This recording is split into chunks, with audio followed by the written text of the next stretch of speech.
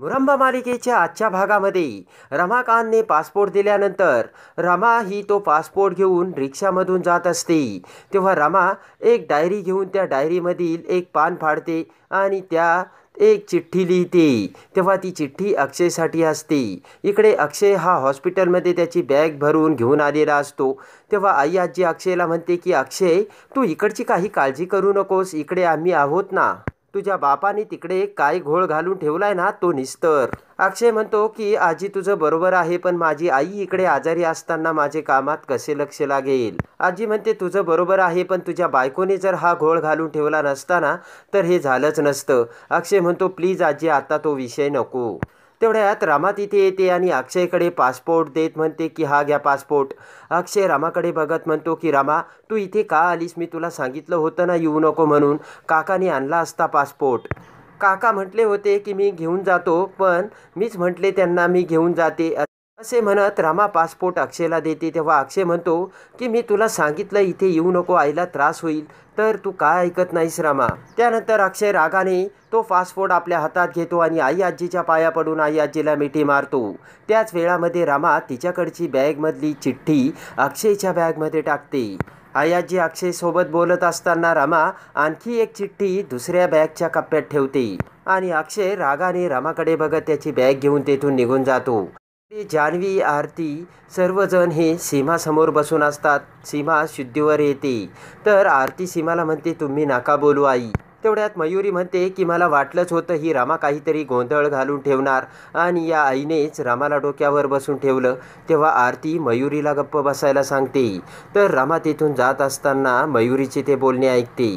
तर रामा आणि आभ्या तिथे येतात तेव्हा आभ्या सीमाला तब्येतीची विचारपूस करतो.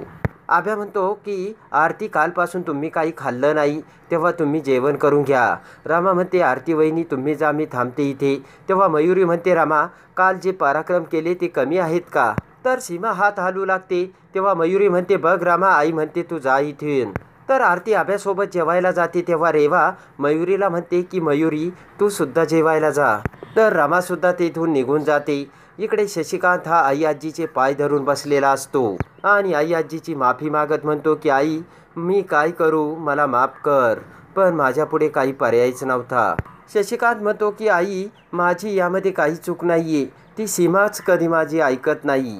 शशिकांत म्हणतो की आमच्या लग्नाला एवढी वर्ष झाली पण तरीसुद्धा माझी कोणतीही इच्छा अपेक्षा त्या सीमाने पूर्ण केली नाही. शशिकांत म्हणतो त्या सीमाने कधी चांगली साडी घातली नाही वन पीस घातला नाही केस मोकळे सोडले नाही. आई आजी रागावून शशिकांतला म्हणते शशिकांत हे तू सर्व एका बाईसमोर म्हणजे तुझ्या आईसमोर बोलतय? तुला लाज वाटते का? आई आजी म्हणते शशिकांत तुझ्या वयाकडे तरी बघ तुला बाहेर तोंड काळे करायची अशी गरजच काय होती?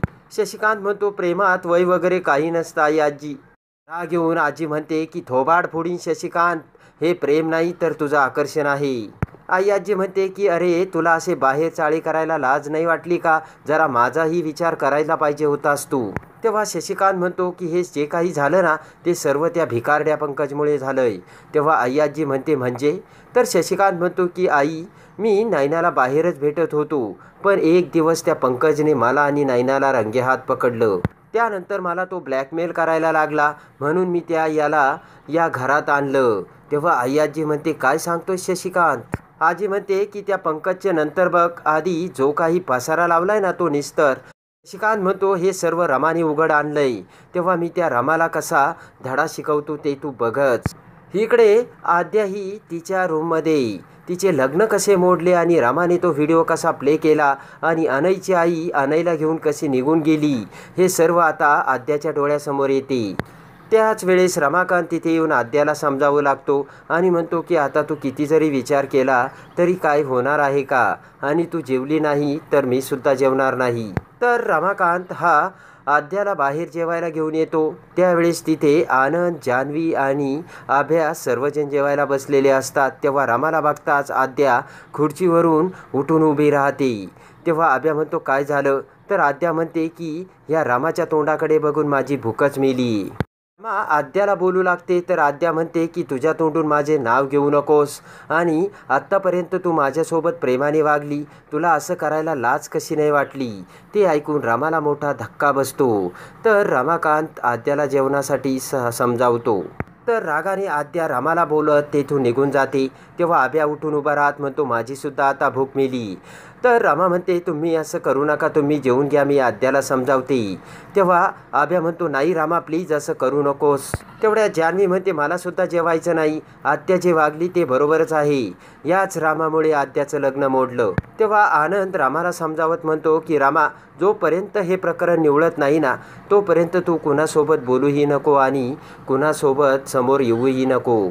आनंद म्हणतो की तू जर कुणासोबत बोलायला गेली तर परत सर्वजण तुझा अपमान करतील.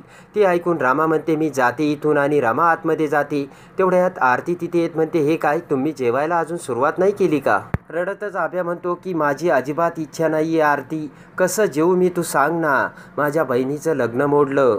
आरतीला आभ्या म्हणतो की किती आपण आनंदात होतो. पण त्या एका व्हिडिओने सगळं काही उलट केलं आणि सगळ्या आनंदावरती विरजन पडलं. इकडे रागाने रमा ही टेरेसवर येते तेव्हा आई आजीचे सर्व बोलणे रमाला आठवतं. आणि अक्षय सुद्धा आपल्याला कसा तिरस्कार करून निघून गेला आणि वाटेल ते बोलले हे सर्व आता रमाच्या डोळ्यासमोर येतं. रमाकांत रमाला म्हटलेला असतो की रमा तुला खरंच सर्वांची काळजी आहे की तू मुद्दाम तसं भासवतेस? हे देखील आता रमाच्या डोळ्यासमोर येते तर रमाच्या डोळ्यातून पाणी येत असते तेवढ्यात शशिकांत रुमाल घेऊन तिथे येतो आणि तो रामासमोर धरतो.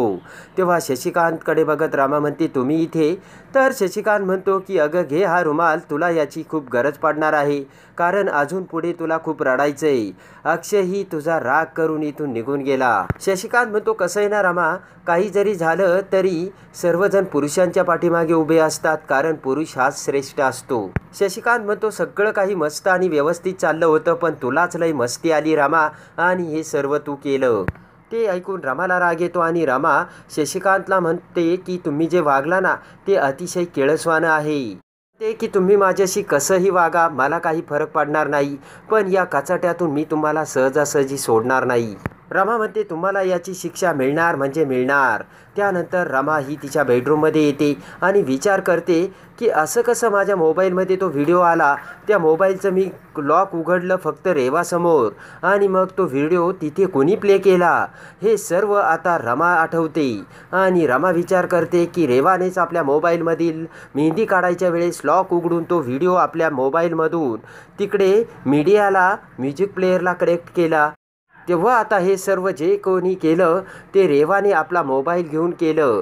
हे आता रमाच्या डोळ्यासमोर येते. तेवढ्यात रेवा ही पाठीमागून रमाच्या बेडरूममध्ये येते. तेव्हा रेवाला बघताच रमा ही रागाने रेवाकडे बघू लागते. आणि रेवाचा चेहरा काळा निळा पडलेला असतो.